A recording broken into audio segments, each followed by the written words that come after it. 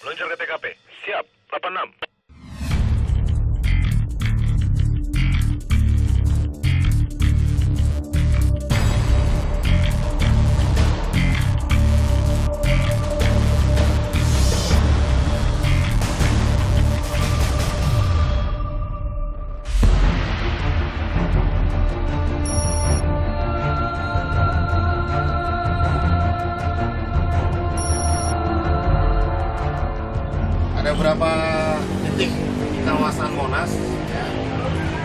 Yang pertama satu di Istana Negara dua di Mahkamah Agung tiga di Ambon 9 Kami mendapat informasi bahwa akan ada kurang lebih sekitar 5.000 nelayan yang akan menyampaikan aspirasinya di kantor Kementerian Kelautan dan di depan Istana Negara.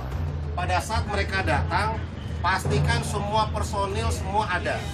Saya ulangi nih ketika mereka sudah bergerak dari KKP pastikan semua personil siap di lapangan. Setelah dilakukan tactical wall game, maka dilakukan apel secara umum untuk saya bisa menyampaikan arahan-arahan kepada semua personil. semua perlengkapan disiapkan dan siap untuk digunakan. Semua kendaraan kita gunakan kendaraan taktis kita atur.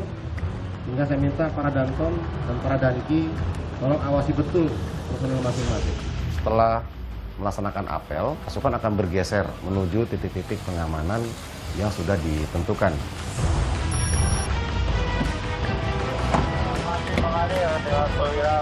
pintu bisa dua kecil. Saya izin nanti setelah nyampe sini operasi perwakilan 50 maksimal 100 tempat khususi lewat sini pintu kecil. Oke, ini tutup kunci.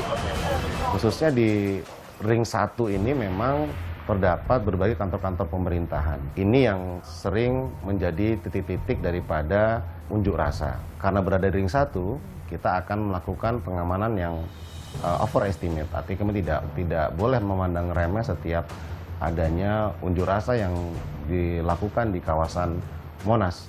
eh pasukanmu suruh sini pasukanmu jejer sini sambil nunggu pasukan datang datang jejer sini aja ya brimob brimob brimob sini depan sini satu sap ya ini agak mundur yang bersenjata di belakang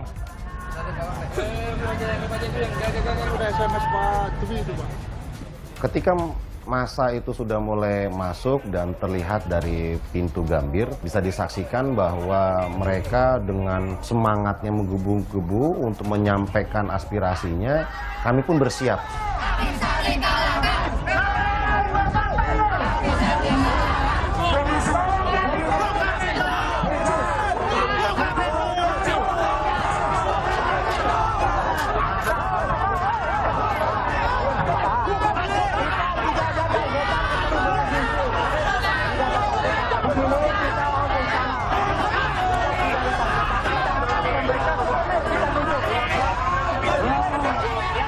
Kita cukup memahami bahwa masa aksi dari unjuk rasa pasti inginnya melakukan suatu tindakan supaya mendapatkan perhatian dari instansi yang terkait.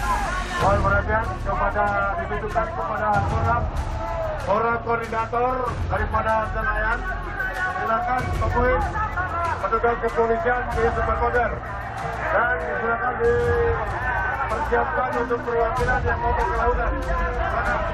ya perwakilan silakan maju pak. Perwakilan agak sini pak. Perwakilan maju. Biar dihitung berapa jumlahnya silakan. Bu Kasat Dimas diatur perwakilan di pojok sana. Ya perwakilan silakan. Perwakilan. Perwakilan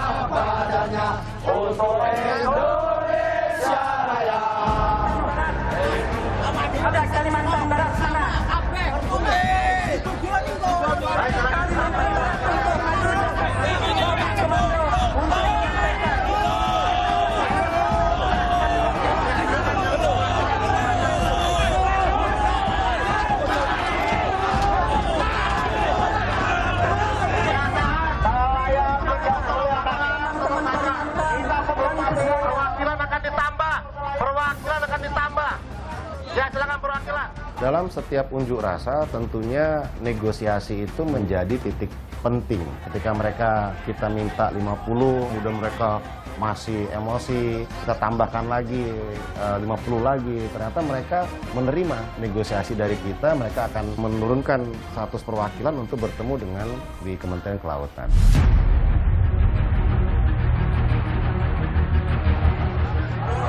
Ya teman-teman sekalian harap tenang. Silakan mundur satu langkah dari pagar. Silakan mundur satu langkah dari pagar. Di mana-mana bikin permen itu manis, betul? Susi bikin permen pahit sekali. Oh gitu, kita langsung ke sana. Oke, jadi nanti kita di depan istana, walaupun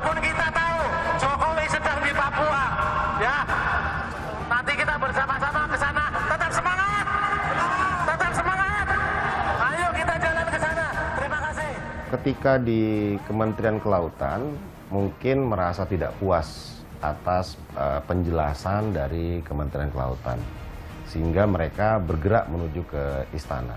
Ketika mereka bergerak, maka saya sudah harus cepat bergeser lagi ke depan istana untuk menyiapkan personil dan perlengkapan dalam menyambut mereka tiba di Istana Negara. Mereka. Ya, di sini kita akan menyeting semua pasukan, perlengkapan, dan kendaraan-kendaraan taktis. Baik Barakuda waktu water, water cannon. Ya, me- mepet sini aja.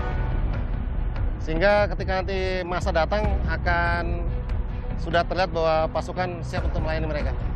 Saat ini di depan istana kita siagakan tiga kompi Brimob dan tiga kompi Sabara. Jadi sekitar 700 personel ada di depan istana ini.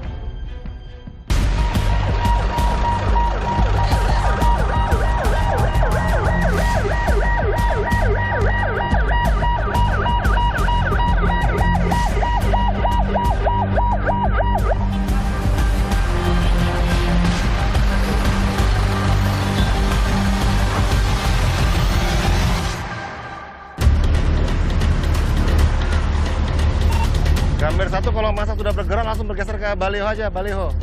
Ini sudah disiapkan semuanya untuk settingan kendaraan, perlengkapan semua sudah sudah disiapkan. Merapatin aja, merapatin. Gambar satu itu pintu buka dua-duanya gambar satu. Biar lebar jadi masa nanti bisa masuk ke dalam. Tidak terhalang. Jalur bawah membuka pintunya. Kawat barrier kita bentangkan. Mobil barakuda kita siapkan pada posisinya. Water cannon kita kita siapkan. Mobil sound juga kita siapkan. Sehingga ketika mereka datang ke depan istana, biasanya di awal-awal mereka di titik lokasi itu mereka begitu meluap-luap. Nah, titik itulah menjadi titik-titik kritis. Apakah kita bisa menenangkan atau justru ketika mereka datang justru akan membuat suasana menjadi chaos. Susi tukang ngapusin! Susi tukang ngapusin! Susi tukang ngapusin! Susi pencitraan aja! Mereka menyampaikan orasi-orasi secara wajar dan kami juga tetap bersiaga selama mereka melakukan orasi-orasi tersebut.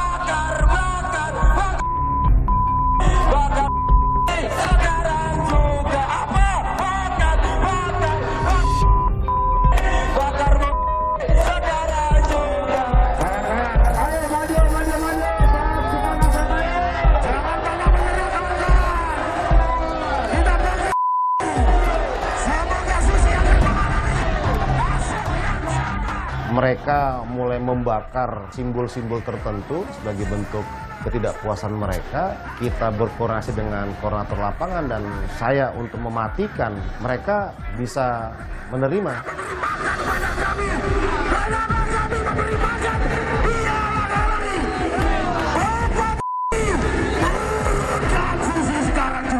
Dinamika di lapangan memang tidak bisa kita perkirakan sepenuhnya.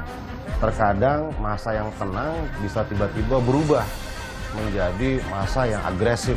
Setelah ada pembakaran lainnya dan kita berusaha memadamkan, rupanya mereka sudah tersulut emosi dan berusaha untuk menyerang petugas yang melakukan pemadaman